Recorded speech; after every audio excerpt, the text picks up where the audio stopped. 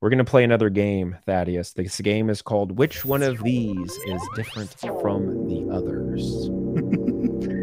well, you know, two of those are fairly close geographically, the other's mm-hmm. pretty far away. Um, however, the esteemed scholar of all things, Sassafras Hussein, has entered the chat. He has informed us that Paran is in Mecca no point googling for answers. So you know if you if you look up information you might find mm-hmm. something different but don't bother doing that because he tells us that that Paran is in Mecca. That, that's all there is to it. Okay. Um and Moses and Aaron did pilgrimage at the Kaaba. Hmm. and his evidence for all this I believe is his imagination but he can correct me if he has some sources to back this information